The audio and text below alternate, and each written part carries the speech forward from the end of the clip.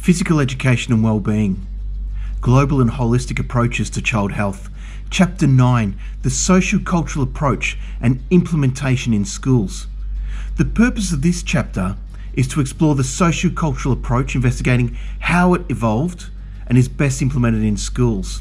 Literature suggests that the socio cultural approach was developed reactively to counteract the dominant medical approach traditionally used in public health and the behavioural approach used in education.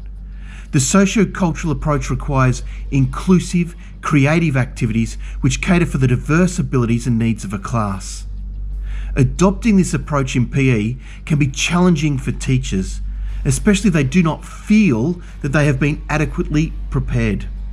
A whole school approach is recommended for implementing a socio-cultural approach in schools, such as the Healthy Schools in England or health promoting schools models used in other parts of the world.